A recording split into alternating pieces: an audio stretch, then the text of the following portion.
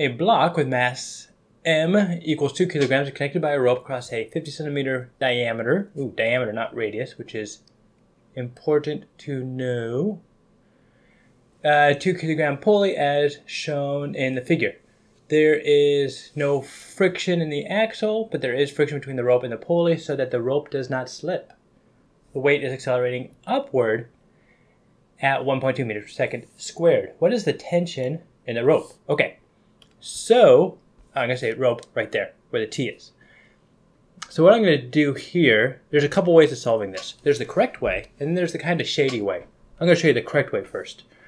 So we have, let's say, tension 1 here. I'm going to cross that out and call this tension 2. So if we do free body diagrams here, we have a force and a gravity. And so we know that the sum of all forces, that is a terrible summation symbol. Sum of all forces, that's not good, but it's better, equals mass times acceleration. In this case, we have uh, mass the block times acceleration, which we know is going to be 1.3. That's given to us. And the sum of all forces is going to be T1 minus force gravity. Um, T1, I'm going to put as positive because we know that is bigger than force gravity because we know it's moving upward. So simplifying this one more time, we get T1 minus mass the block times gravity. Um, can I solve for T1? Do I want to solve for T1? I'm going to solve for T1. So T1, using this part and that part, equals mass block minus mass block times gravity. Oh, put a little acceleration there. Hmm. Okay, so one thing I'm going to do here is, nope, supposed to be positive, positive right there. So this is going to be mass times acceleration plus gravity. So tension 1. And just from an intuitive point of view, I know this is going to be, I'm going to use positive for G here, positive 9.8, because I know it's going to take more than the force of gravity to pull it up. Because not only is the force required to hold it up against gravity, we're actually accelerating it upwards. So it's going to be, this is actually going to be a number bigger than gravity. So 9.8 plus 1.3. Okay, now we got that part taken care of, or at least thought about. Now we're going to talk about this part. So we have our summation of all forces equals mass times acceleration. So now I'm going to say that sum of all torques equals moment of inertia times angular acceleration. So for this then, we know that we're dealing with a disk, and the moment of inertia for disk is 1 half mr squared. I'm going to do r pulley uh, squared times alpha.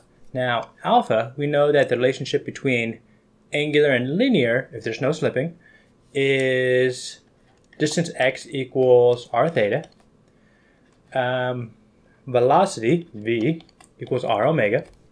And acceleration, a, equals r alpha. And this is the one we do, want. I just do it in that order, like writing it from top to bottom like that, so I don't forget. The top one is the only one I know. I just know all the others are kind of similar. So then alpha equals A over R. Excellent. Plug that in. So we have an A over R. Now we know that this the sum of all torques here, the torque we're looking at here is going to be this one minus that one because this torque tension one is pulling down, but this tension two is I guess also pulling down. The better way to say is tension two is clockwise, tension one is counterclockwise. Either way, I'm going to say this is equal to torque 2 minus torque 1. These are torques. And torque is r cross f, but since they're perpendicular, r and f, it's just going to be r times f. So this is going to be r tension two, These are tensions, that's are those are torques. Minus r, these are all r's of the pulley, because that's where the uh, tension is being pulled at. It's at the radius right here, r. That is the perpendicular distance, if you will. T2 minus T1 seems reasonable. We can probably factor out an R. R, T2 minus T1. So if we look at this equation and we look at that equation, we can divide both sides by R. And we get, bum, bum, bum, 1 half mr squared, probably an A, all over r squared equals t2 minus t1. I just moved this r over. The r squareds cancel, which is convenient because now I don't have to convert diameter to radius. And we have t2 minus t1 equals 1 half ma. Seems reasonable. Now we know what t1 is, but we want to find t2. So solving for t2, we have 1 half ma plus t1. And this will equal bum bum bum bum bum bum bum. T1, here we go. T1, good call. Mass times acceleration plus gravity. So we will have 1 half ma plus 1 half mass times acceleration plus gravity. Acceleration plus gravity. Can we cancel things out? Maybe we can cancel a couple things out. Maybe. Interesting. Did I put an extra one half in there? Now supposed to be a one half there.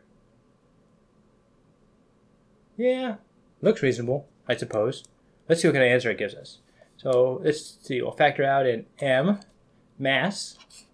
Oh, think I got the masses of the pulleys and the uh, block confused in there. That's okay. Luckily, they're the same. So normally I can't get away with this, but this time I can. So we have 1 half times A plus A plus G. 2 times 1 half times 1.3 plus 1.3 plus 9.8. This feels really shady. Maybe. We'll see.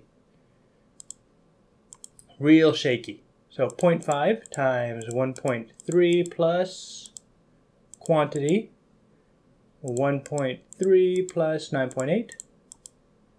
Check, we get something like 11.75 times 2, and we get 23.5 equals 23.5 newtons which I think is probably correct.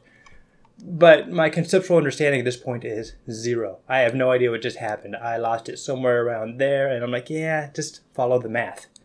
Which, you know, it's being a math person, I'm like, well, okay, I guess we'll follow the math. Half the time, though, you follow the math to your doom. So should have it's good to have a conceptual understanding of what's going on. Okay, I'm going to look at this then from a different point of view with a shady, less correct, more shoot from the hip type method. So if you look at this, you're like, all right, we have force equals mass times acceleration.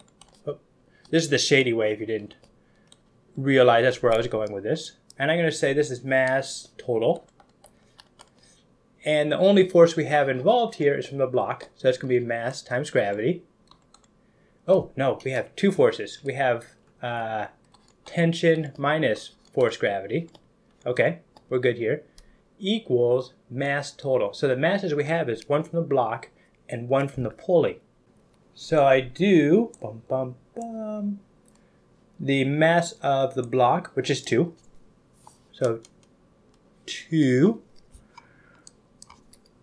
plus, and then we're, because we're doing mass total here, now we're going to do the mass of the pulley. But you really can't do mass of the pulley because it's not really moving in a linear fashion, it's rotating. So the way I'm going to convert that is I'm going to do I over R squared. You might be like, where did that come from? Well, it's kind of, it works. Let's go with this for now. The idea is you can kind of sort of convert uh, moment of inertia to um, linear by dividing it by R squared. So we have, I'm going to write this as mass block for now just to keep things straight. So we have mass block plus moment inertia of a pulley, which would be 1 half m r squared all over r squared times acceleration of the system.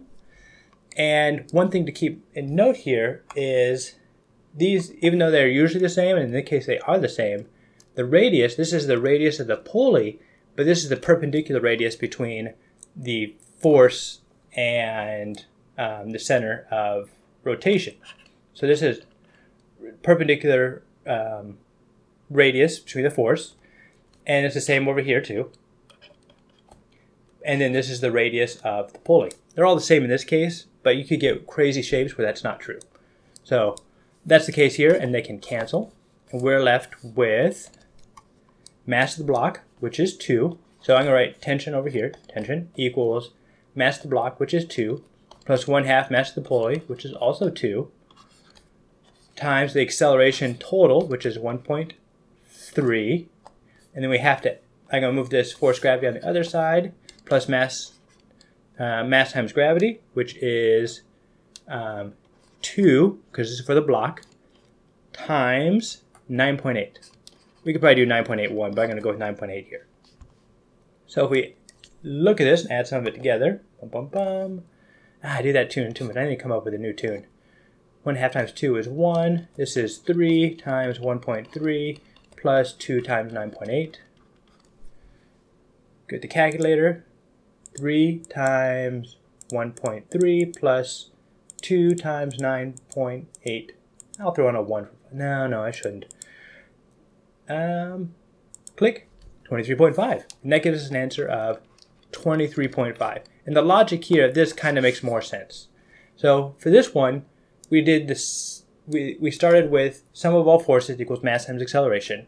Because we looked at it as, all right, let's look at the mass total, and this is the uh, force net. Then the, when you combine all the forces together. And for the mass then, for the mass of the pulley, I just said that we can take the moment of inertia of what's rotating and divide by the radius that we're uh, pulling it at, which for the most part is true. You should do it more, you know, technically the correct way is the first way where you're more formal, but this will give you the same result in pretty much most problems they'll do, especially in physics 1. So, took uh, moment inertia divided by r squared. The r squareds eventually canceled, which was convenient and we were left with 23.5 and that kind of feels more intuitive logical makes more sense feels better than the other way i did it so that's how i would approach that problem. That's how i would get 23.5 as newtons as the answer. Hope that helps. See you next time